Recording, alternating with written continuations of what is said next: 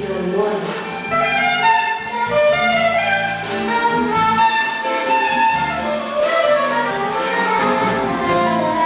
palidez en los desafinados rostros de mis hermanos.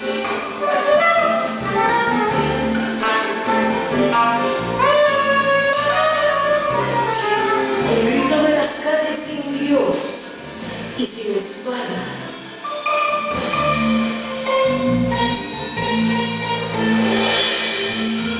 Yo canto porque cantando escribo las verdades en el viento.